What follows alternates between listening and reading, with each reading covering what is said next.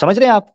अबू बकर भाई, यानी हिंदू के जहन में जब ये सवाल आता है तो उसको ये जानना चाहिए कि उसका अपना धर्म क्या कहता है। उसको भी यही आदेश दिया गया है। कैसे परमेश्वर की, ऐसे परमात्मा की आपने करनी है? पूजा, या जिससे प्रार्थना करनी है, वो निराकार है। उसकी कोई प्रतिमा या उसका कोई अक्स नहीं है। एक तो ये चीज़ है। दूसरी चीज़ ये है कि ये रूल कहाँ से आ गया कि पूजा सिर्फ़ उसकी मानी जाएगी कि जो नज़र आता हो? ये सवाल है ना हमारा। हम ये उस हिंदू से पूछ सकते हैं कि तुम्हारा ये एतराज़ कहाँ से आया कि हम मूर्ति की पूजा करते हैं जो दिखता है, तुम तो जिसकी पूजा को दिखता नहीं तो वो पूजा गलत होगी जो दिखता नहीं और वो पूजा ठीक होगी जो दिखता है। ये कहाँ से आया? ये लॉजिक कहाँ से आई? अब मिसाल के तौर पर वायु को वो देवता मानते हैं। वायु नज़र आती है? नहीं, नज़र आती। हवा, आकाश, इसको देवता के तौर पर लेते हैं। आकाश नज़र आता है? कोई कह सकता है ये ठोस है? ये तो खुद इतराज कर रहे हैं, जी, ठोस नहीं है। कुरान में कहा, बोला था बात। कि है कि नहीं? मैं नज़र आता नहीं मगर उसको देवता के तौर पर लेते हैं। अच्छा फिर खैर बार बात करते चले मैंने तो दो मिनट लिए थे। बात करने को तो जितना गुड़ डालो उतना मीठा बात करते चले जाएँगे। ठीक है अबू बकर भाई? जी जी जी।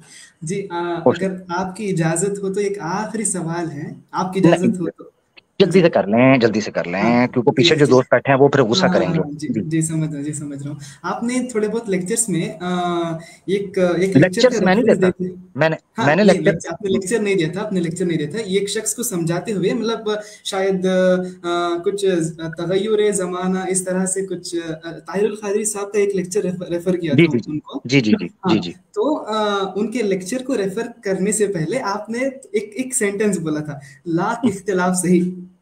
हाँ, हाँ बिल्कुल। हाँ, तो ये लाख इख्तिलाफ सही जो आपने बोला था अगर आप चाहें तो इसके बारे में बोल सकते हैं ये थोड़ा हम्म। हट के सवाल है। तो ये जो लाख इख्तिलाफ आपने जो कहा था ये थोड़े एक दो एक चंद इख्तिलाफ आप थोड़े बता सकते हैं? एक दो। बिकॉज़ बहुत शुक्रिया बहुत शुक्रिया। ठीक है थैंक यू जब हम कहते हैं ना लाख इख्तलाफ सही तो उस वक्त हमारा मतलब ये होता है कि इख्तलाफ के बावजूद हम उसकी रिस्पेक्ट करते हैं। तो फिर इख्तलाफ बताने की ज़रूरत क्या है मुझे? ठीक है ना? हाँ आप मुझसे पर्सनल पूछिएगा तो मैं आपको बता दूँगा लाख में से एक दो बता दूँगा ठीक है ना? जी ज़रूर बहुत शुक्रिया ठीक थैंक यू अबू बकर भाई बहुत शुक्रिया। यार एक तो कैसर भाई मेरी इससे बड़ी जान जाती यानी मैं अपने बारे में बात कर रहा हूँ अपने as far as my individually I am concern lecture भाई मैं लेक्चर लुक्चर ना मैं कोई प्रोफेसर हूँ मैं सीधी बात बताऊँ मैं नहीं को ज़्यादा कोई इतना को ना प्रोफेसर हूँ ना मेरा कोई लेक्चर है। तो अगर किसी भाई को लगता है कि वो को वीडियो वीडियो आप देख सकते हैं वीडियो में हम गपशप करते हैं और बातचात करते हैं लेक्चर लुक्चर तो मेरा कोई भी नहीं है।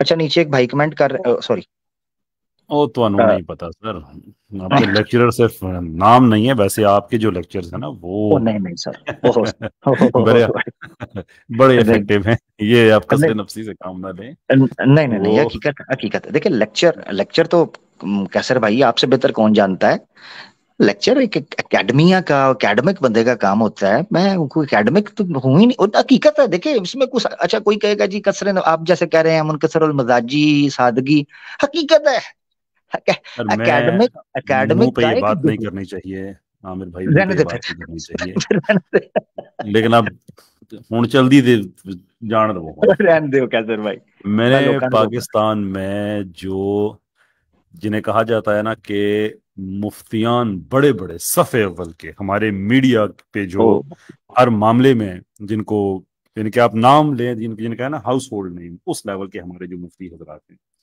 उनके जो उस्ताद जो उनको बनाने वाले मैंने किसी वास्ते से नहीं बल्कि लाइव आमने सामने बैठ के उन लोगों से आपके बारे में जो बातें सुनी हैं। मैं मैं गवाह हूँ इस चीज़ का कि उन्होंने आपके बारे में क्या क्या बातें कही हैं आपके इल्म के बारे में आपकी ग्रिप के बारे में आपकी पर्सनैलिटी के बारे में। लेकिन मैं अगेन वो इस तरह से इतना कहनी नहीं चाहिए बातें मुँह पे। लेकिन मुझे इस चीज़ पे था कि इस के यू नो मेरा मेरे मेहरबानों में आप जैसे लोग भी शामिल हैं कि वो लोग जिन्होंने ज़िंदगी में मतलब एक एक मुफ्ती साहब बत्तीस साल से वो मुफ्तियों को पढ़ा रहे हैं अंदाज़ा करें। बत्तीस साल से और वो उन्होंने जो अल्फाज आपके लिए कहे हैं अगर मैं लिख के आपको दूँ आपको पता चले आपकी कितनी कदर की जाती है उस हल्के में। आप लेक्चरर से बड़ी चीज़ है। ओ नहीं नहीं सर नहीं नहीं अल्लाह माफ़ करे कैसर भाई। और अल्लाह ताला उनको जाय खैर दे जिन उलमा का जिन बुजुर्गवार का आपने ज़िक्र किया है अगर वो सुन रहे हैं या आप जब तुम तक पैगाम पहुंचाएँ तो मेरा उनको सलाम अर्ज़ कीजिएगा और उनको कहिएगा कि खाकसार के लिए दुआ कर दिया करें बस इतना है। और अल्लाह ये टूटे फूटे जो हमारे बोल हैं अगर अपनी बारगाह में कबूल कर लेगा तो मैं समझूँगा कि मैंने अपनी ज़िंदगी से कुछ कमा लिया। जिस तरह मैंने एक शेर बहुत अरसा पहले जब मैं इलाहाद से आ, लड़ रहा था और तशकीक के बादलों में वो जो है ना वो उन उन गाढ़े बादलों के अंदर मैं धुंधलापन का शिकार हो चुका था ईमान की हालत में। तो उस वक्त मुझे एक आमद हुई थी तो मैंने वो शेर कहा था। मैंने यानी वो बाबा बुल्ले शाह के ही अंदाज में ऑब्वियसली अंदाज तो वही कॉपी किया मगर अल्फाज अपने कुछ चुने और मैंने शायद आपको सुनाया भी था। तो वो ये थे कि रिज्क कमाया खा मुकाया। मुकना सी गल मुक गई हूँ। रिजक हाँ। कमाया खा मुकाया मुकना सी गल मुक गई हूँ। जिंदड़ी पाई ते किसे कम ना आया होया मट्टी ते गल मुक गई हूँ। हाँ, हाँ, ठीक? तो अगर ज़िंदगी मिली और किसी काम ना उस ज़िंदगी को आया आपने ज़िंदगी यहाँ पर गुजारी और एक बबल की तरह फूटे और चले गए जी सात जीवन है पुनर्जन्म आएगा ऐसा कर लूँगा अगले जन्म में वैसा करूँगा किसने देखा है?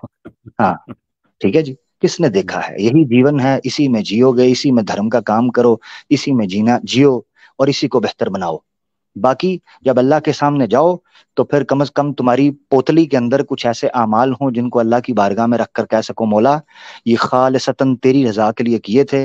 न किसी की चेहरे की मुस्कुराहट मतलूब थी न किसी की वाहवाही मेरा मकसूद था न किसी की जानब से जे कार होना मेरा नस्बुल ऐन था। फकत एक चीज़ थी कि तू राज़ी हो जाए और तेरी जनाब के अंदर मुझे तेरे उन दोस्तों में लिख लिया जाए जिनको तू हिजबुल्ला कहता है। बस मुझे उनमें लिख देना। मेरे लिए यही काफ़ी होगा अल्लाह अकबर। ले जी। कैसर भाई की मौजूदगी में ही हम आगे बढ़ रहे हैं अल्हम्दुलिल्लाह और मैं बड़ा आज खुशबख्त महसूस कर रहा हूँ। मैं हज़रत का भी इंतज़ार कर रहा हूँ बड़ी चाह से। और बकौल मिर्ज़ा गालिब कैसर भाई ने तो शर्फ बख्श दिया। मैं मुफ्ती साहब का इंतज़ार कर रहा हूँ वो आए तो मिर्ज़ा गालिब ने मेरे जज्बात की अक्सी कुछ इस तरह की थी कि जी ढूंढता है फिर वही फुर्सत के रात दिन बैठे रहें तस्वुर जाना किए हुए। हैं जी मुद्दत हुई है यार को मेहमा किए हुए। क्या बात। किए हुए। क्या बात क्या बात। लें जी इन्होंने चूँकि अपना नाम चेंज नहीं किया तो इनको मैं साइड पे कर रहा हूँ। इन्होंने अपना नाम रखा हुआ है आवाज़ हक फ़ैन आखिरी भाई आपको रिक्वेस्ट कर रहा हूँ। आप अपना नाम ये आवाज़ हक फ़ैन खत्म करें मेरा भाई। ये चेंज करें। ठीक है जी? हाँ। थोड़ी मेहरबानी। फ़ैन ना बनो भाई एसी रख लें। एसी रख लें कूलर रख लें। मतलब फ़ैन तो मतलब इस जमाने में वो गर्म हवा देता है। मैं उसके नीचे बैठा हूँ मुझे इसलिए पता है। हाँ सही गल है। वो तो शोर बकरा पाता है। ठीक है? तो नूर आलम भाई हमारे साथ हैं। जी नूर भाई। अस्सलाम वालेकुम। वरहमतुल्लाहि वबरकातुहू। अमीर भाई और भाई। वालेकुम सलाम। अल्लाह का शुक्र नूर भाई जी। क्या कोई सवाल कोई बात रखना चाहेंगे? कैसर भाई भी मौजूद हैं। जी। जी जी सवाल है मेरे। बस सवाल से पहले मेरे को कुछ कहना है कि आप डांटिएगा मत। मैं अपनी पुरानी गलती के लिए मैं आपसे माफ़ी मांगना चाहता हूँ आमिर भाई। अल्लाह खैर करे। उस गलती का ताल्लुक मेरे साथ है तो फिर अर्ज़ कीजिए। अगर अल्लाह के साथ है तो अल्लाह से कीजिए। मुझे रहने दीजिए। नहीं नहीं आप ही के साथ था। आप उस गलती का मुझसे मुझे गिल्टी भी फील हुआ था कि आपने मुझे जब स्ट्रीम से बाहर निकाल लिया था तब मुझे बहुत ज़्यादा गिल्टी फील हुआ था कि मैंने बहुत गलत किया था। मैं एक हिंदू का नाम रखकर आपसे बात करने आया था। याद होगा करण कुमार। ओ जी जी जी जी जी जी जी। उसके लिए माफ़ी चाहता हूँ मैं। चले अल्लाह ताला तो अल्लाह ताला आपको अल्लाह ताला आपको जजाय खैर दे कि आपको रिग्रेट हुआ और आपने रुजू कर लिया। अल्लाह ताला आपको इसका डबल अजर देगा इंशाल्लाह। व खैरुल अतवाबून बेहतरीन खताकार वो हैं जो रुजू कर लें मेरे आका ने कहा। जी आमिर मेरा सवाल ये है कि बचपन से मैंने एक वाक्य सुना है अपने मोहम्मद सल्लल्लाहु अलैहि वसल्लम के बारे में कि उनके ऊपर एक बुज़ुर्ग औरत कूड़ा फेंका करती थी। ये जो वाक्य है कि ये बताते हैं कि ये किसी भी हदीस में नहीं लिखा है। तो अगर ये लिखा नहीं है तो ये वाक्य आया कहाँ से? या ये किसने सुनाया है या कहाँ से क्या इसका कुछ जानकारी बताएँगे? क्या है ये? ये कैसर भाई कुछ कहना चाहेंगे इस पे? मेरे ख्याल से कैसर भाई की स्ट्रीम में इस पर एक बार बात हुई थी। जी। बहुत दफ़ा हो चुकी है। बहरहाल अब आप सवाल किया भाई ने तो जी बताइए नहीं कैसर भाई मैंने शायद सुना नहीं है मैंने शायद स्ट्रीम आपकी इसलिए अच्छा मैं आपको एक चीज़ बता देता हूँ। बहुत अरसा पहले कैसर भाई की स्ट्रीम में एक इसी तरह का मशहूर वाक्य ज़िक्र किया गया था और मैंने एक किताब भी रेफर की थी। अबू अब्दुलरहमान अल फवाजी की। अल फवाजी अबू अब्दुलरहमान अरबी के अंदर है और उसकी ट्रांसलेशन जो है, वो उर्दू के अंदर कर दी गई है। मशहूर वाकयात की हकीकत। तो जो लोग इस्लाम के बारे में पढ़ना जानते हैं रिसर्च से ताल्लुक है ना, जो रिसर्च स्टूडेंट्स हैं खास तौर पर जो उसूल हदीस के बारे में शौक रखते हैं, वो इस किताब को ज़रूर पढ़ें। तो इस किताब का नाम है उर्दू में मशहूर वाकयात की हकीकत, ठीक है?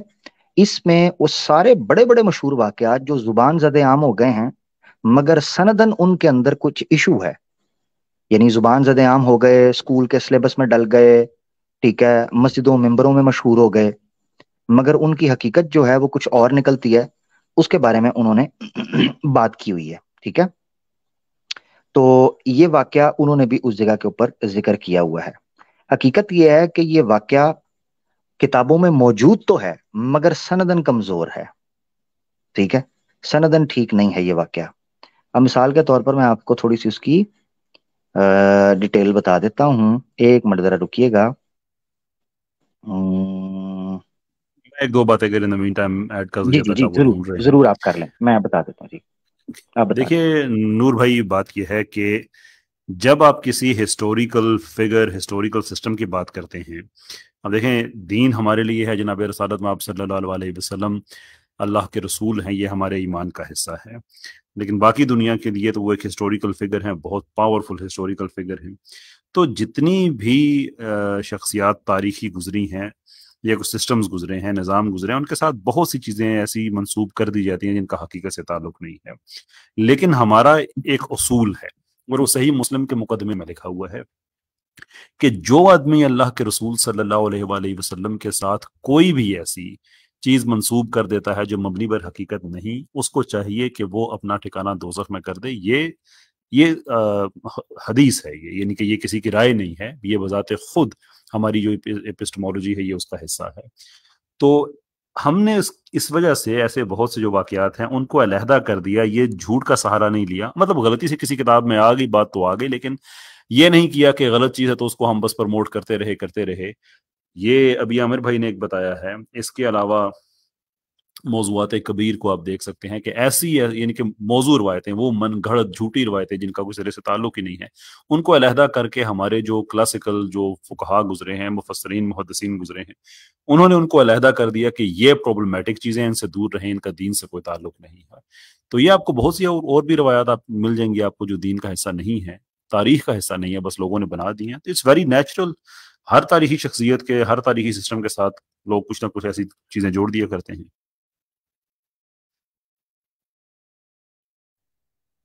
जी शुक्रिया भाई मैं समझ गया आपकी बातों को।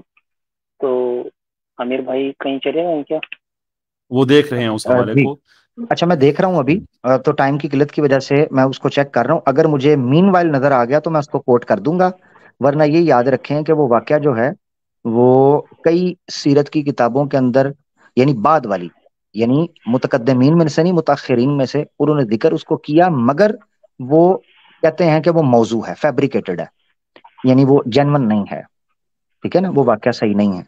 कि एक औरत कूड़ा फेंका करती थी, एक दिन उसने नहीं फेंका तो अल्लाह के रसूल के पास चले गए। आपने जाकर कहा कि भाई, तुम आज कूड़ा फेंकने नहीं है वो बीमार थी, वो इतनी मुतासर हुई कि उसने इस्लाम कबूल कर लिया। ठीक है? तो ये वाक्य सनदन मरफू नबी पाक वसल्लम तक या साहबी तक मौजूद नहीं है। तो याद रखें, मैं एक चीज़ बताता हूँ। कमाल ये है नबी पाक सल्लल्लाहु अलैहि वसल्लम का जिस तरह के कैसर भाई ने भी बयान कर दिया कि सही मुस्लिम के अंदर है कि मन कदबा अलैया मुतमिदन फलियतबव्वा मकदो मिनन्नार तो ये याद रखना चाहिए कि रसूल पाक सल्लल्लाहु अलैहि वसल्लम की शान में भी अगर कोई बात हो, जो कि सनदन सही ना हो, मौजू हो ज़यीफ हो, ऐसी किसी चीज़ को भी हम बयान करने के कायल नहीं है। ये आप याद रखें कि चाहे उससे कितनी ही शान क्यों ना छलकती हो अकैद जहाँ सल्लल्लाहु अलैहि वसल्लम की। तो हमने शान बयान करने के लिए मुबालगा राई से काम नहीं लेना। यानी आप ये देखें कि कुरान में अल्लाह ताला ने मना फरमाया लाता गलूफी दीनिकुम अपने दीन में गुलूब मत करो। और आकायद जहाँ सल्लल्लाहु अलैहि वसल्लम की हदीस में मौजूद है कि तुम इस तरीके से गुलूब मत करना जैसे यहूद नसारा ने अपने अम्बिया के बारे में गुलूफ किया और उनको खुदा का बेटा बना लिया। ठीक है? तो यानी अल्लाह के रसूल ने अपनी शान के बारे में भी गुलूफ से मना फरमाया। तो उनकी, यानी खुद जब मना फरमा दिया मिसाल के तौर पर मदीना में अल्लाह के रसूल आए तो यथरब की जो छोटी लड़कियाँ थी, उन्होंने दफ बजाकर कुछ गीत अल्लाह के रसूल की शान में पढ़े। और जिस जगह पर वो ये कहने लगी, फीना नबी माफ़ी गदा। हम ऐसा नबी मौजूद है जो कल की बात भी जानता है। तो अल्लाह के रसूल ने रोक दिया। आपने कहा, ना, रईकुल मखतूम में भी मौजूद है और सीरत इबन शाम के अंदर ये वाक्य मौजूद है। अल्लाह के रसूल ने कहा अभी रुक जाओ, ये बात ना बोलो, बस यही बोलो। कि जो मेरे लायक है, मेरी शान शान है तो अल्लाह के रसूल अपनी शान में मुबालगे को भी सख्त नापसंद करते थे। अब यही वजह है कि जब साहबा एक इलाके से सफ़र करके आया और उन्होंने अल्लाह के रसूल को कहा, अल्लाह के रसूल कि हम आपको सजदा ना कर लें? हमने तो फैला इलाके के बादशाह को देखा कि उसको लोग सजदा करते हैं, आप तो सच्चे रसूल अल्लाह के रसूल ने कहा, ना ना ना ना, सजदा सिर्फ़ अल्लाह की जात को। मकसद कहने का ये है कि गुलुब से अल्लाह के रसूल ने भी बचाया। उसकी वजह आपको बताता हूँ। बाज लोग मुबालगा राई को या ग्रेजुएशन को या गुलब को या मदा सराई को या खुशामद को छोटा ऐब समझते हैं। वो कहते हैं, कोई बात नहीं, कोई बात नहीं, अल्लाह के रसूल की शान की ही बात की है ना, कोई बात नहीं। ये याद रखना चाहिए कि शिरक की इब्तदा गुलुब से होती है। यानी शिरक ऐसी दलदल है जिसकी जानब जो कदम बढ़ते हैं, उनमें से गुलुब एक ऐसा कदम है जो शिरक की शिरक की दलदल में आपको फेंकता है। यानी आप ये देखें कि जब कौम नूह सलाम नू सलाम की कौम शिरक में मुबतला हुई तो वो आहिस्ता आहिस्ता पहले हुई थी। और बड़े जो बुज़ुर्ग थे उनकी कौम के, वो थे वद सवा यगूस याऊक नसर। कुरान में पाँच ऐसे लोगों का ज़िक्र किया गया है जो उनके अलिया थे, बुज़ुर्ग थे। कौम में उनके चले जाने के बाद जनरेशन आफ्टर जनरेशन उन्होंने शिरक के अंदर मुबतला हुए। पहले वो गुलूफ करते थे, आहिस्ता आहिस्ता तारीफों के पुल बांधते थे। उनकी नस्बत से वाकयात मशहूर कर दिए। करामतें, उड़ने लगे, उधर निकल गए, इधर चले गए, उधर आ गए एक दम उधर पहुँच गए एक दम उधर से निकल गए। ये जो चीज़ें थी ना, इन चीज़ों ने काम खराब करना शुरू कर दिया। और उसका नतीजा ये निकला कि लोग बजाय इसके कि अल्लाह की तरफ़ रुजू करते, उन्होंने बुज़ुर्गों की तरफ़ रुजू करना शुरू कर दिया। इस नियत के साथ कि शायद यही करता धरता है, याद रखें, इस नियत के साथ कि यही करता धरता हाँ। तो मसला खराब होना शुरू हुआ। तो आहिस्ता आहिस्ता आप उस तरफ़ गए।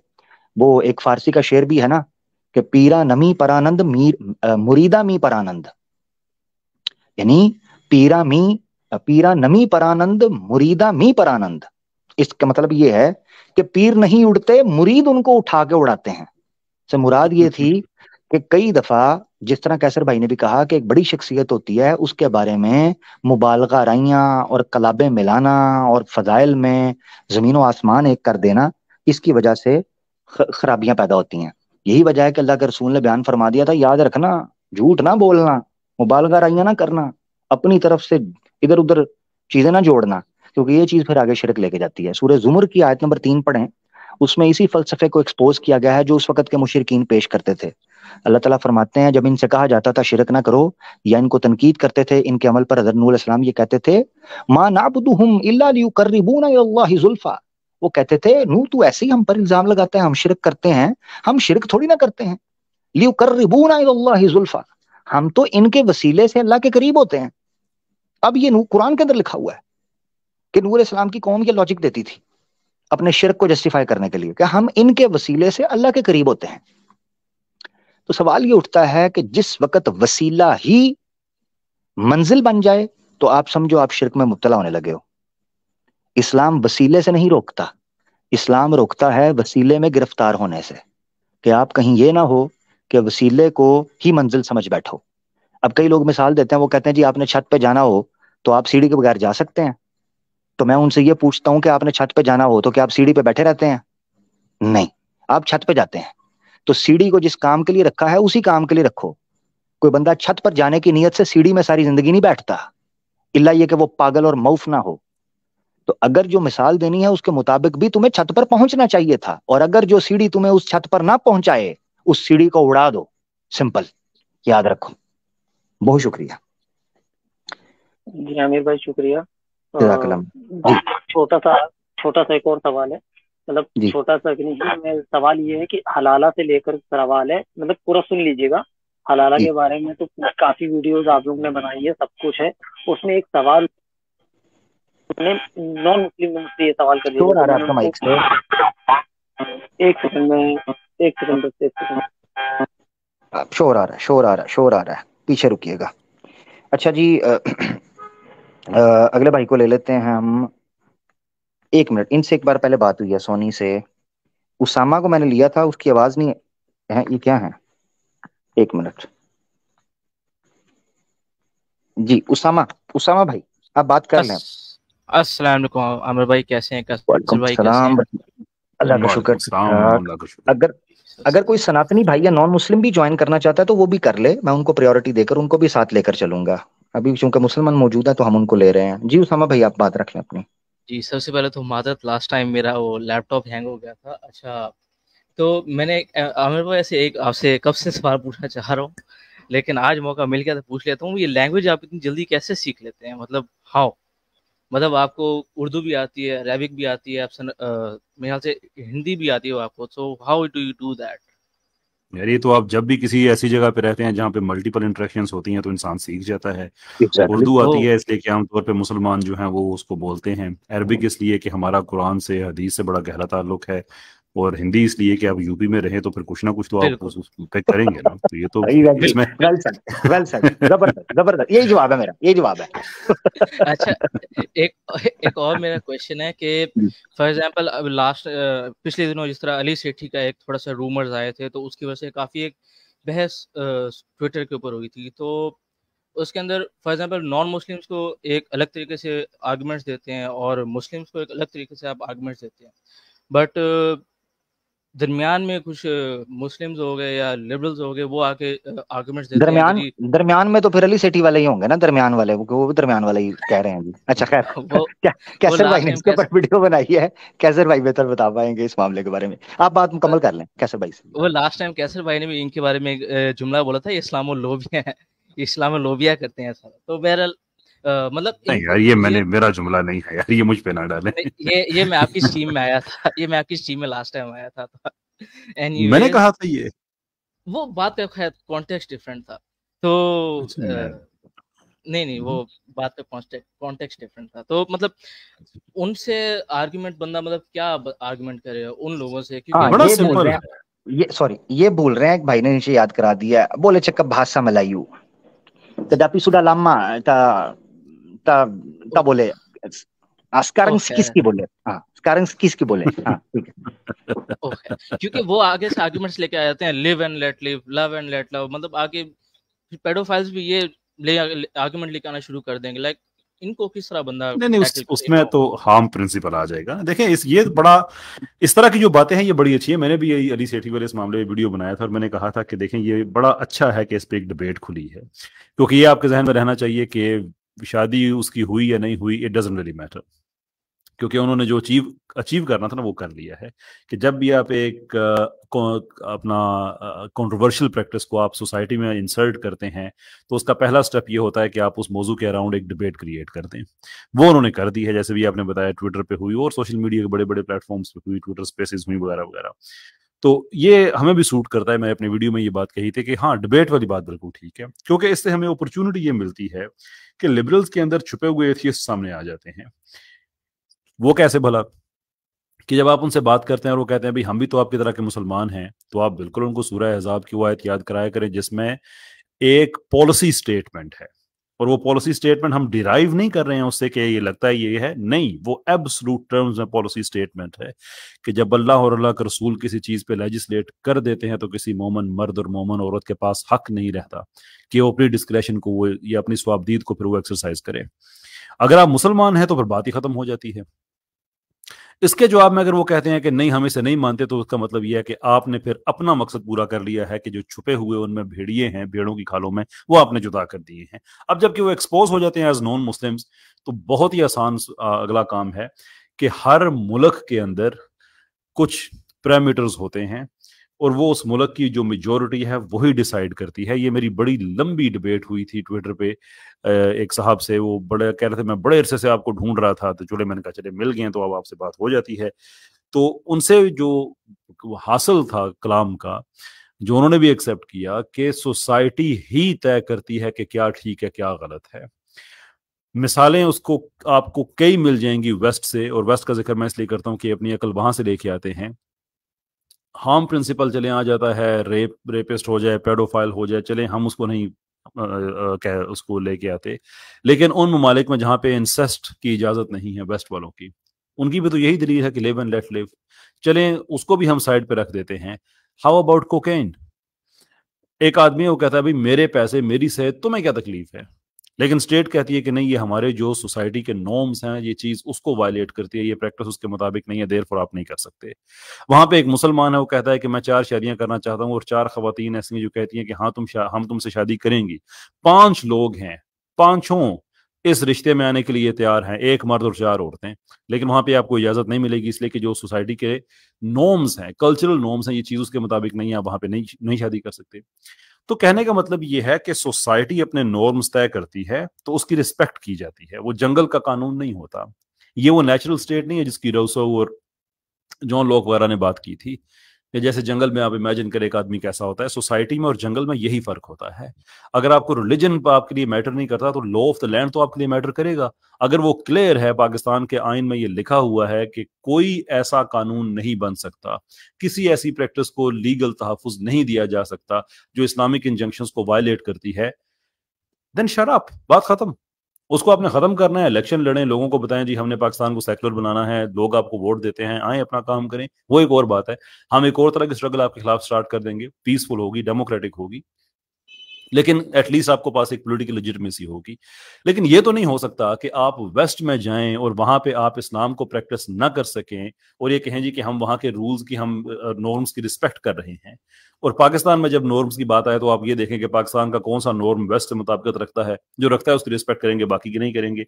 मैं बहुत तफसील में नहीं जाना चाहता। I think we read too much into it लेकिन आपको एक छोटी सी एग्ज़ाम्पल दूँ।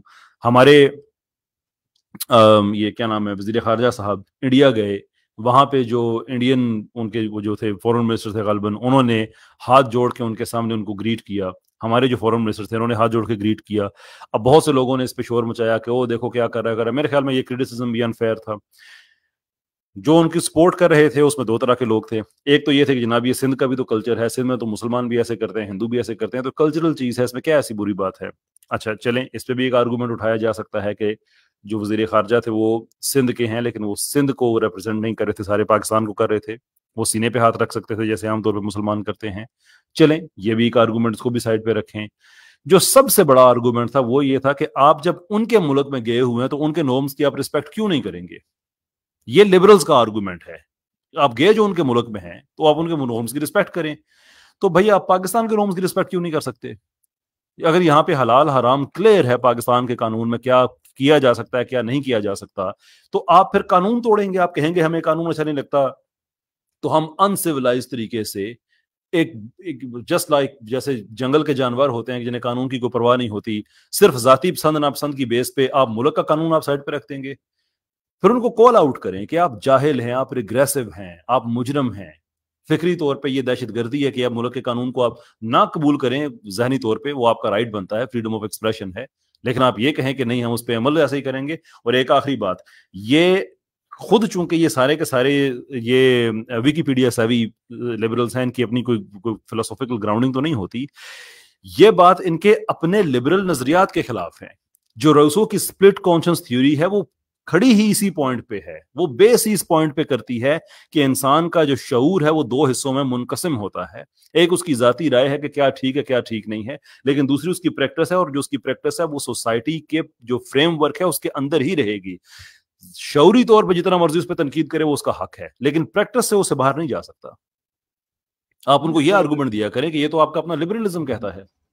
ज़बरदस्त। ठीक है उसामा भाई। जी मतलब उसामा भाई अपना ख्याल रखिएगा बात आगे बढ़ेगी हाँ। ठीक है? हाँ अपना ख्याल रखिएगा। सिस्टर भी आगे मैंने उनको वेलकम करना है। बहुत शुक्रिया उसामा भाई thank you thank you sister को वेलकम करते हैं जनाब आवाज़ हक स्टाइल में। Welcome welcome. जनाब मेरे ख्याल से पहली दफ़ा आपके स्टेज पर आई हूँ अस्सलाम वालेकुम। हाँ। नहीं नहीं दूसरी बार आई हैं। एक बार आप आई थी जब आपका और मेरा टकरा हुआ था मैंने आपको एक्सपोज कर दिया था। जी। ओहो। कैसे भाई? अस्सलाम वालेकुम तमाम सामीन को। वालेकुम अस्सलाम क्या हाल है वालेकुम सलाम वेलकम वेलकम जी आया वेलकम। अच्छा कैसे आमिर भाई आप अपना वो रोल